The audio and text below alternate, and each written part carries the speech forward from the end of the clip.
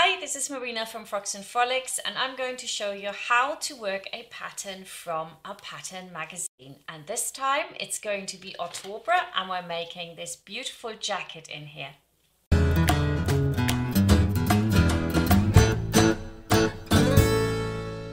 We're going to sew a jacket, a pea coat from Ottobre. Excited? Right, let's have a look at this. Um, I'm going to do step by step and we're going to have a new sew along every four weeks where we're going to take it a step further because it's quite work intense this thing. So I'm not going to do this all in one video. That will be way too long. The first thing you have to do when you work with a pattern magazine or any other pattern is that you have to decide on the actual size. So you got to go page 25 and you find out what size you need. You should have quite a lot of ease in a coat and I, I think 8 to 10 centimeters is probably okay. That's what, 4 inches. So it can be quite a loose coat for you, okay? So you have a go and see what the height is. It's in here in centimeters. So in my case, I'm actually going to make it for a girl because I don't have a boy model and I'm going to go do the size 146 so that it fits her next winter and also in the winter after that. I think that'll last her a long time. Now with Ottobre patterns, you will find that the seam allowance is not included, that you have to add that. Of course, you don't have to add it where you have a fold. We'll come to that in a minute but you have to add the seam allowance to every other um, edge of your pattern so that in the end they look like this. And we're going to do that together. So fear not, step by step to success with Frocks and Frolics and Ottobre this time. And then you have got some instructions and you just go straight to this. I have to say that when I look at this for the first time, or I looked at this for the first time, I went, oh my God, all these instructions, you know, um, they are a bit different to what I would normally do for a beginner. But then again, I think if we do it really slowly, this is totally doable and once you've done it once you probably get really hooked. They are quite good these patterns and um, you can make adjustments to them for fit as well. So you don't have to necessarily stick with it. Like I'm going to do it for a girl so I probably will bring the shoulder in a little bit on the pattern but that is not for today. For today we're just going to get the pattern ready.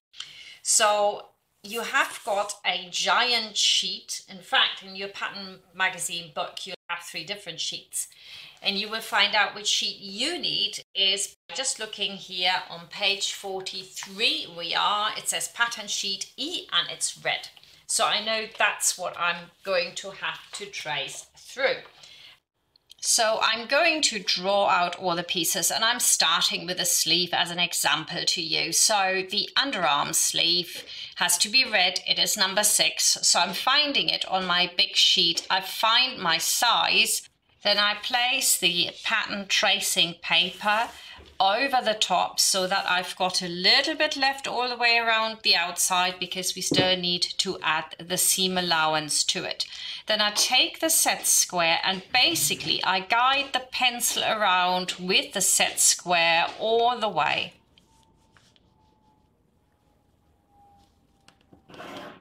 It is really, really helpful when you can actually see a line rather than drawing dots and then taking your curved ruler and doing it. So easy to go wrong. Here you can actually see what you've drawn and it makes it easier. So always go for the easy option. And don't forget to also add in the hem I had actually forgotten that and I needed to go back and do that later on. So don't forget to draw in the dashed hemline. And if you can't find the right, um, you know, line, you can just count. If you know it's four in from the center of your pattern, well, then that's what you do, right? I do that a lot, actually. I count things out all the way down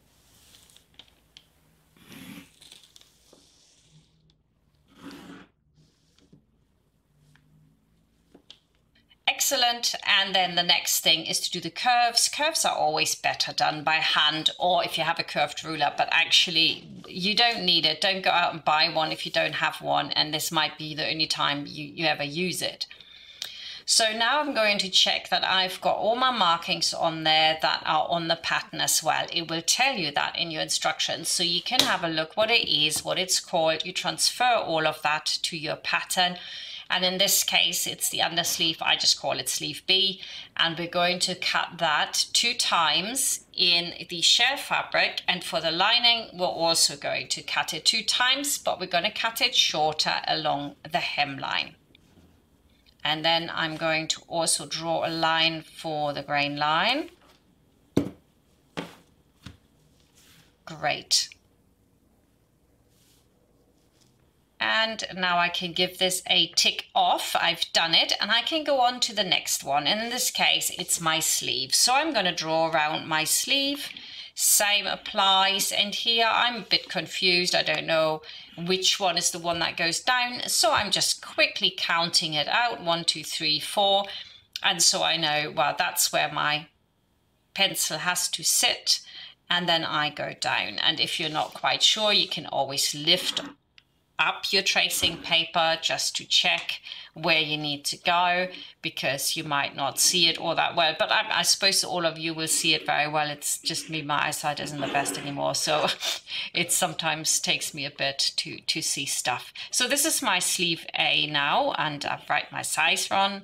It's a size 146 for the German ones or the Europeans, and it's um, age 10 to 12 for all the English customers.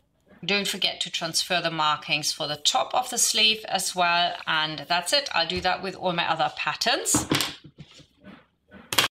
Now we're going to do the front pieces, just quickly showing you the finished one here. What we want to do is draw everything out exactly as it is there. We're not starting doing the facing, then the front, and then the lining. We're doing it in one. And then we're going to go ahead and we're going to trace again our facing and the lining so that we have separate pieces. For the lining, we also always cut off here the dashed line. We don't need that.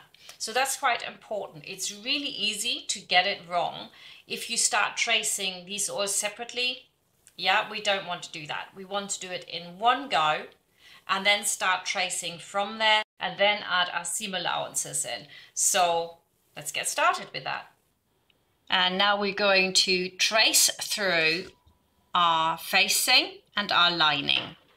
And you can always check with your Ottobre magazine what it is that you are cutting out. And you can see here there's a little pencil next to what we need to cut here. And that means that you're cutting it out of the main master copy, basically. And I'm going to do my facing first. And again, I'm going to let my pencil run alongside my set square, which is really easy. It's really nice. And it makes it so much quicker than um, any other method. And I'm going to go all the way down to the end, including the hem for this one, because it is a facing. Wonderful. And then we're going up there's a little curve and you can see that even small curves you can do with a straight ruler if you do it the way I'm doing it here. But then when you have a really pronounced curve, you really do want to do it by hand all the way around. And I think it's so much better to trace it off from something you've already drawn because that way you will know it is exactly the same. It's so easy to get some of these lines wrong when you're going from this sheet, all those different lines in it. It's just not that easy.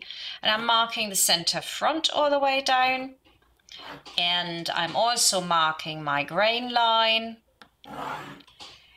And then the last thing is always to write on it what it is so that you don't get confused later on and say, oh, I don't know what this is. I mean, it's pretty obvious what it is, but just in case you're doing it for the first time, you might want to do that. We need those two times in shell fabric and they need to be mirror image and we will also interface that. But we might interface the entire front actually as they're suggesting here. That is the shaded part of the pattern um, illustration and it says well, it's shaded. So basically, uh, it would be a good idea to interface the whole front. And then we are going to make the lining slightly shorter. That's going to be drawn across where we have the hem. And then for the curves, I'm going to just do it by hand. Go down. And it's important to always check that you have drawn on the right markings because they will be helpful later. And then you write on what it is. In this case it's lining two times mirror image and whoopsie daisies in lining. And there we go. And now we're going to do the same for the back. Again you've got in your little booklet that little pencil mark next to it which means that you're cutting from this master pattern and that this master pattern should have all the markings for the lining and the master on it and there you go. You can see the little pencil here and that means that you have to trace those pieces out from your master plan so to speak. We've got a left side we've got a right side. So here is quite important that we get those right. So let's get those traced off. And we're doing the right side. We're leaving off the hem almost did it wrong, but not quite. And we're going in for that one. There we go. All the way up. Mark the points that you can see.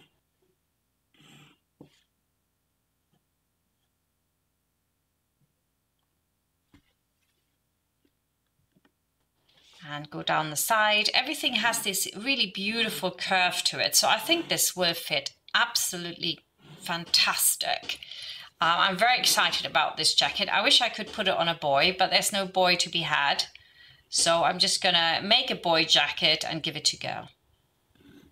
Unless I find a boy in the meantime. But I think it's nice for a girl as well. It just should close the other way around then, but I'm just going to do it boy style so nobody gets confused. Okay, so I'm marking this down as well. This is my back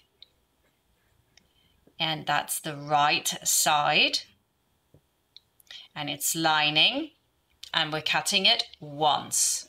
So I write all this down. It's so easy when you start cutting out and you haven't really familiarized yourself enough with it that you cut the wrong stuff. We don't want to do that. And then we have the grain line as well, and that finishes the first one. Now we want to cut it out roughly because we need that centimeter seam allowance still, which we will be adding to. So now we're going to do the other side. So flip over your master plan here, then take your tracing paper again and go over it. Now the other way.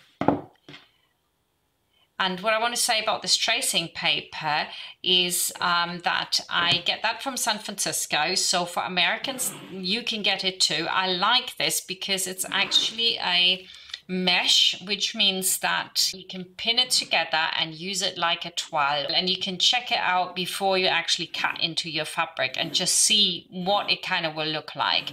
And it's not going to tear, or at least that's what they're saying. And you can draw on it with pencil really well as well. And I think that's great, especially if you plan to fit this. You don't need to do a toile. You can do that with this thing.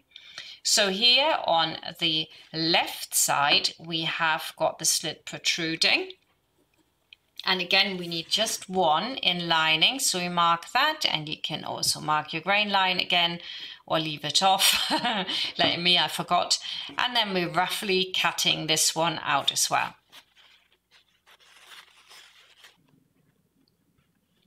And you can see how these two pieces in the end will fit together and on the main piece it comes out, it protrudes and we cut two of those mirror image so we don't need this line anymore.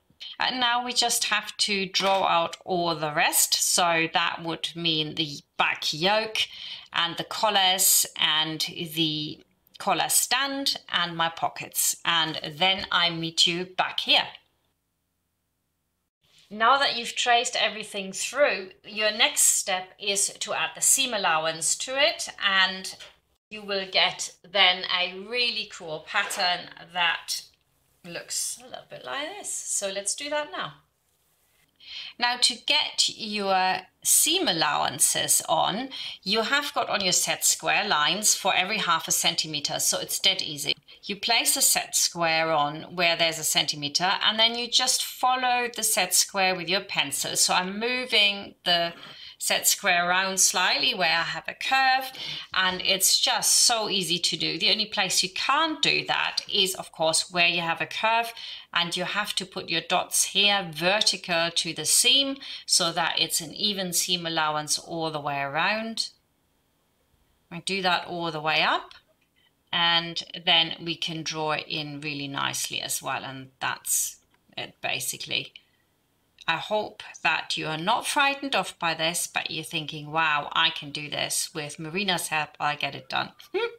so basically, seam allowances are drawn all the way around every single pattern piece that you have, except in those places where there is a fold line. So for Ottobre, that would be those little dashed lines on the side. That means there's a fold there, so that's not where you want to do it, okay? And then when I'm done with this, and also do it along the hem. And if you want to be notified of my next video, to tick that little bell for the channel so that you don't miss out. But the next one where we're going to prep everything up, make some pattern alteration and get it all cut out is in, going to be in four weeks and now I just have to do all the rest of them.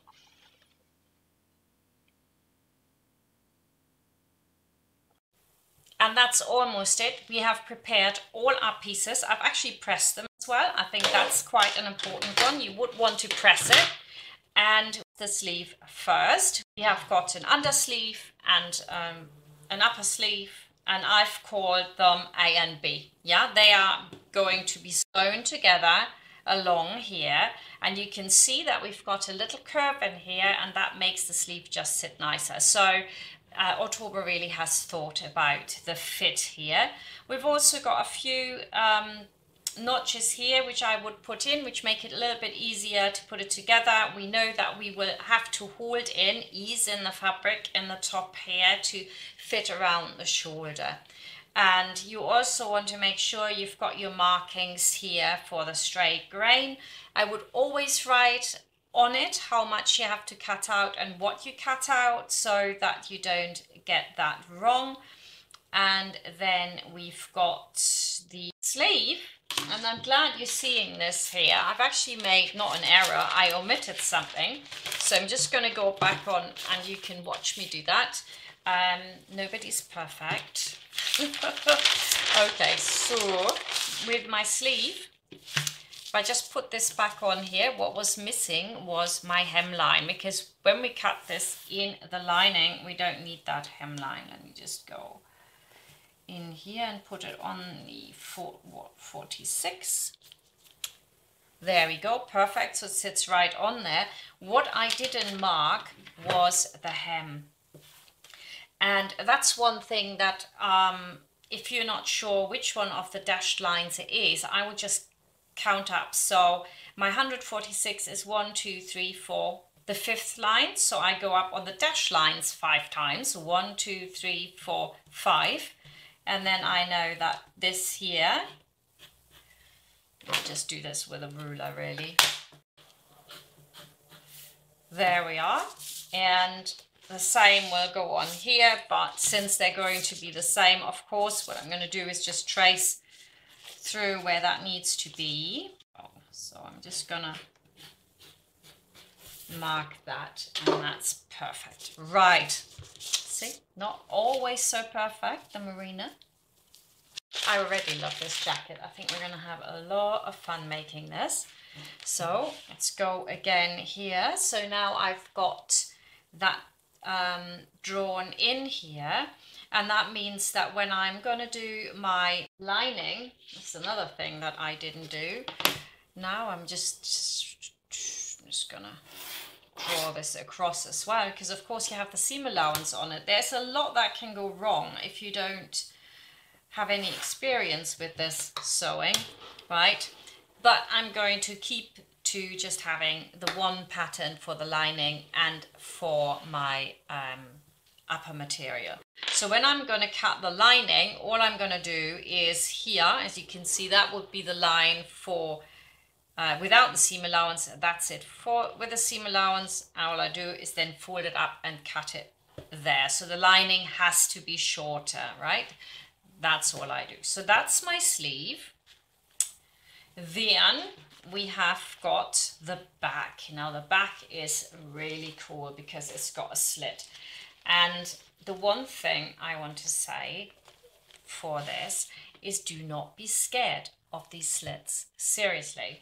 Um, me, at the moment, I have no clue how I'm going to show you how to do that, right? I haven't made one in years. And the beautiful thing is with sewing that really, if you adhere to the instructions and you adhere to like some, some general um, logic, it's like maths, really. Um, it'll be easy. We have got a lining back right and a lining back left, okay? So what will happen here is, this is magic. This will wrap over here. Okay, can you already see how these lines now fit on top of each other?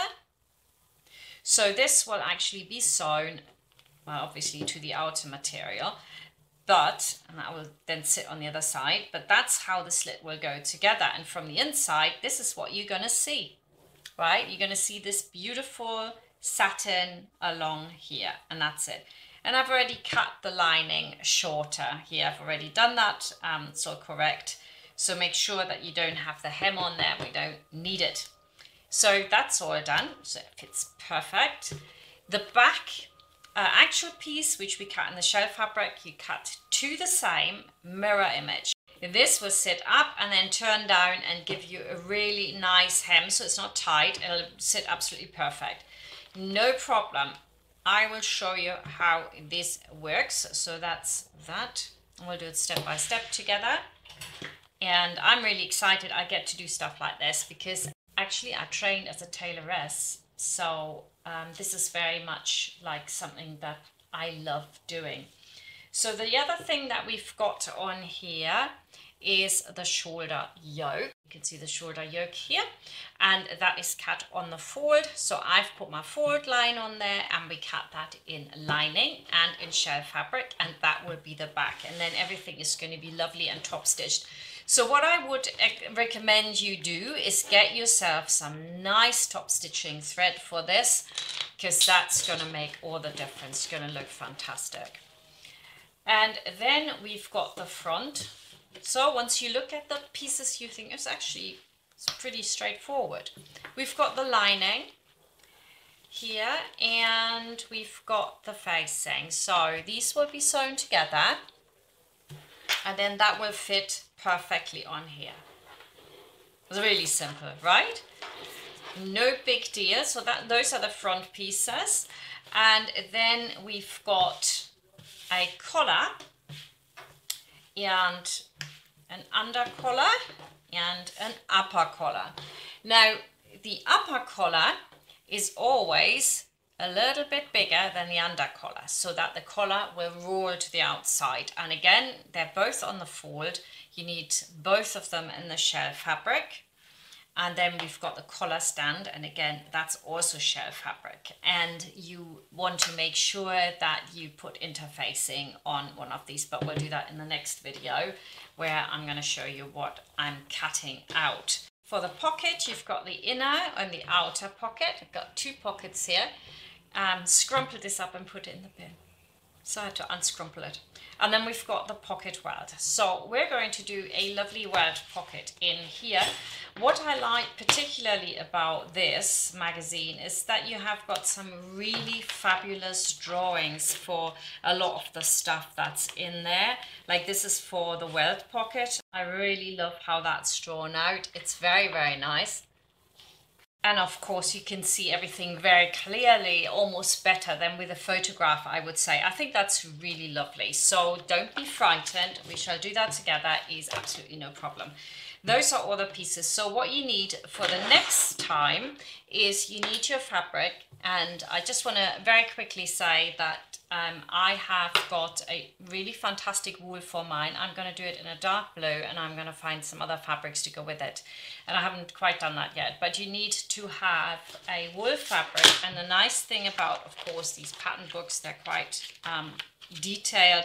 It will tell you exactly what you need. And again, you find that on page 43.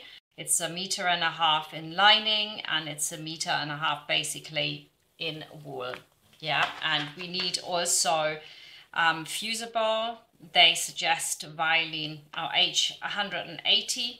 If you want to regain a little bit of stretch for your Vilene, you want a fusible knit Vilene, which is kind of um, stretchy as well so that the coat will fall really nicely. So what you don't want to do is go and get just any kind of Vilene to put or interfacing to put on here.